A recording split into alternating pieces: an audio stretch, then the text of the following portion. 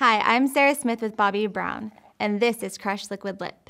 This will give you the coverage of a lipstick, the creamy moisturized feel of a lip balm. This emollient-rich formula glides on with pure color pigment. It feels super creamy, nourishing, and moisturizes instantly and over time. The tip is perfect for perfecting the edges. It's that easy. What's so fun about this formula is you can mix two shades for a customized color.